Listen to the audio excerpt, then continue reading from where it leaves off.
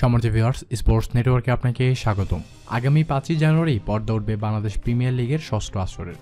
আসন্ন বিপিএল আসরকে সামনে রেখে আগামী পঁচিশ অক্টোবর প্লেয়ার ড্রাফট অনুষ্ঠিত হবে। তবে অবাক করার মতো বিষয় হলো, আসন্ন বিপিএল এর জন্য মুশফিকুর রহিমকে ছেড়ে দিয়েছে রাজশাহী কিংস।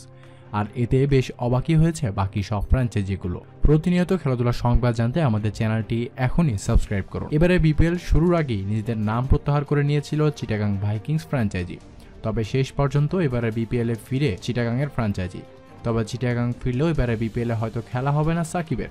আঙ্গুলের ইঞ্জুরির কারণে তিন মাসের জন্য ছিটকে গিয়েছেন সাকিব। আর তাই হয়তো তাকে নাও পাওয়া যেতে পারে বিপিএল এর ষষ্ঠ আসরে। তবে সাকিবের জন্য শেষ পর্যন্ত ঢাকা ডায়নামাইটস অপেক্ষা করবে বলে জানিয়েছেন ঢাকা ডায়নামাইটসের ফ্র্যাঞ্চাইজিটির প্রধান নির্বাহী ওবেদার আজিম। তিনি বলেছেন, আমরা আশা করছি যে এরই মধ্যে সুস্থ হয়ে উঠবে।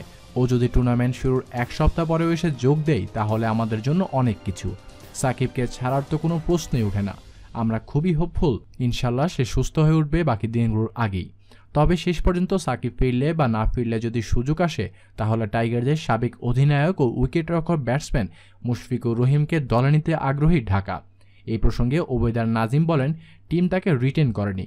ঠিক কেন তাকে রিটেন করেনি আমরা তা বলতে পারি না। কিন্তু আমাদের যদি সুযোগ আসে মুশফিককে পাওয়ার, আমরা তাকে অবশ্যই নিতে চাই। ধন্যবাদ জানাচ্ছি আপনার মূল্যবান সময়টুকু দিয়ে এই ভিডিওটি দেখার জন্য। ভালো লাগলে আপনার মতামত সহ চ্যানেলটি সাবস্ক্রাইব করুন।